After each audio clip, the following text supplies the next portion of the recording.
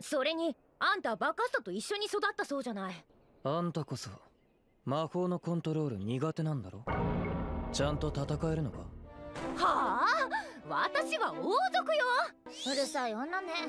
全く反論になってないしその稚拙な言い回しアスタに影響でも受けたか？なんで私があんなやつの？動揺しすぎだな図星か。動揺二人とも大人げないぞ。あんたなんかどうでもいいんだからね。気安く触ってんじゃないわよ。防御だけできたってどうしようもねえぜノエル。この俺にクソ弱え出来損ないのお前が勝てるわけねえだろうが。最初から強かったソリド兄様に弱い人の気持ちなんてわからないでしょうね。ソリド兄様の魔法昔は本当に怖かったのに。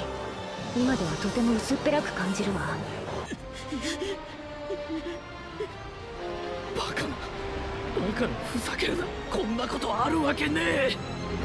なんだこの魔法は。当てていいのよね。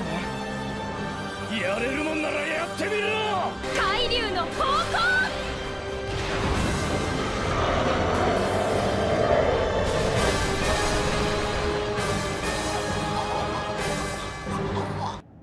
私は弱くない！